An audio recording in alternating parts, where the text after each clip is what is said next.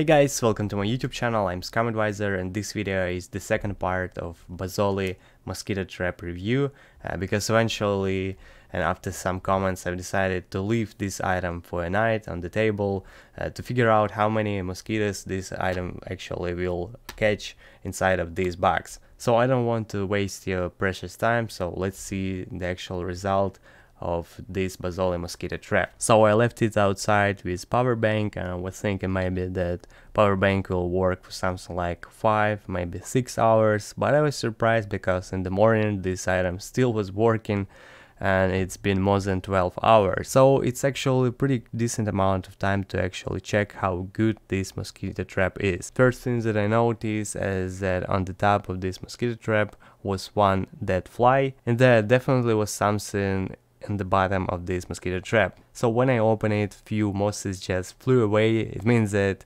uh, the fan that's working inside of this mosquito trap is not strong enough to actually kill uh, different insects. But what I also saw were three mosquitoes lying on the bottom of this trap.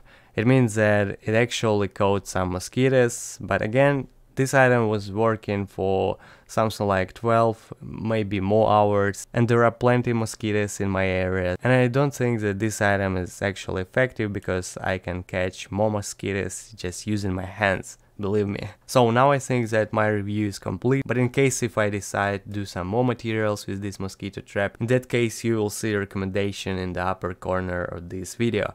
Anyway, please write in the comments if you have any questions regarding this mosquito trap and I will respond to you with video like that because I'm curious as well and I like to make video reviews. And by the way, thank you for all of your advices under my previous video. It's really helpful because it helps me to make better reviews because I want my viewers to be happy. So I hope that you like this video and that you will subscribe to my channel.